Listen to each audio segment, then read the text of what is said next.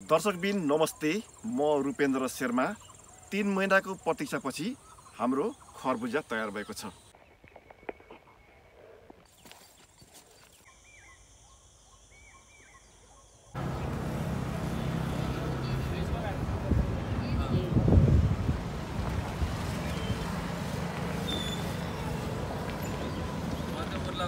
Promote गरौँ न अब टेस्ट पनि हुन्छ भनेर। त्यही लानु त।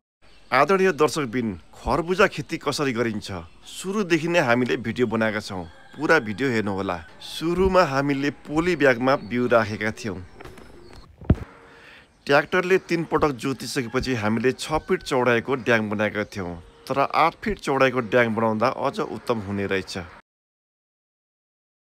ड्याङ सिधा होस् भन्नका लागि हामीले सुत्री टाँगेका थियौँ। यो चाहिँ ड्याङमाथि रहेको माटो सम्याउने तरिका हो।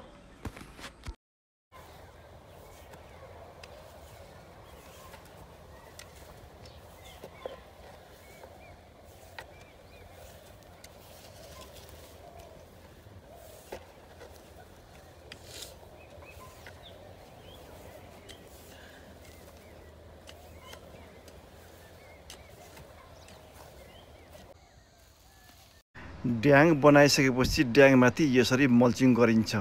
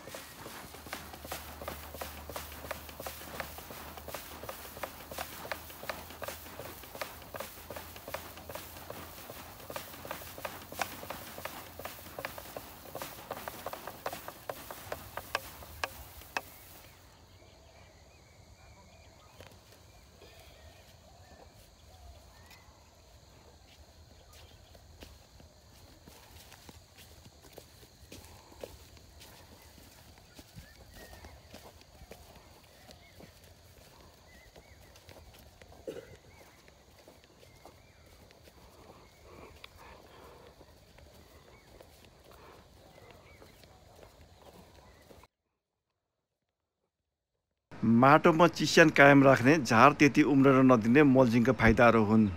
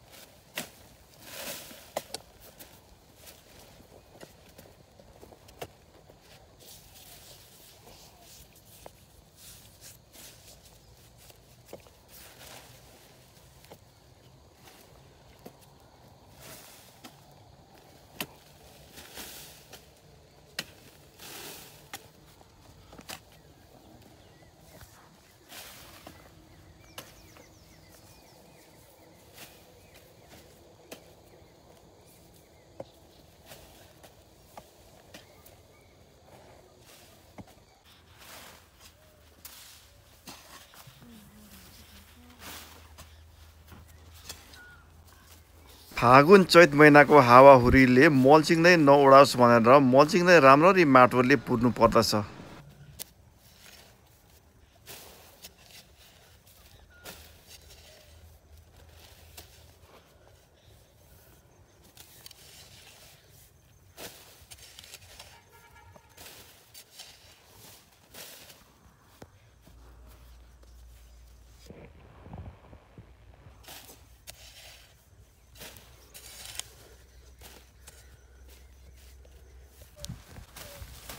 खरबुजाको बेदना सार्नको लागि गिलासको सहायतामा मल्चिङमाथि पाल पारिन्छ।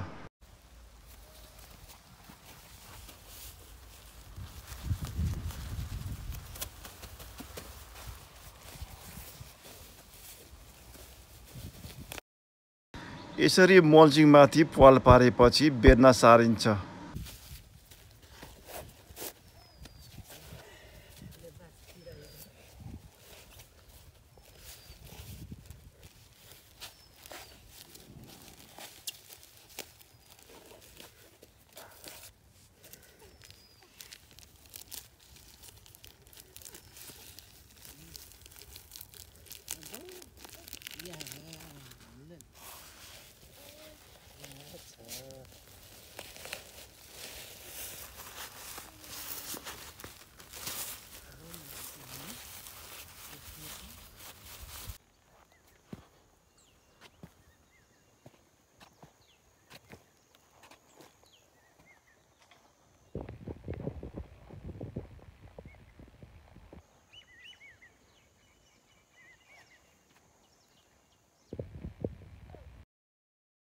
खरबुजाको बोटमा लाई लगायतका किरा नलागोस् भनेर येल्लो स्टिकर ट्याप गाड्ने गरिन्छ।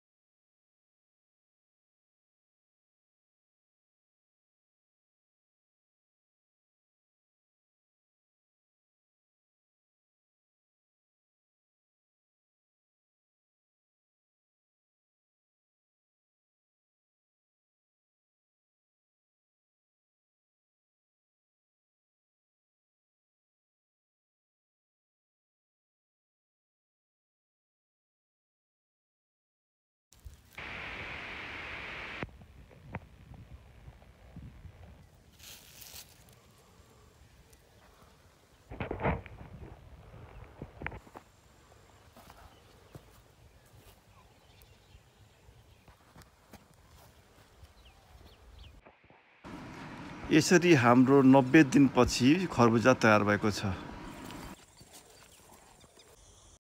बिक्री वितरणका लागि बजार लान तयार पारेको खरबुजाका फलहरू।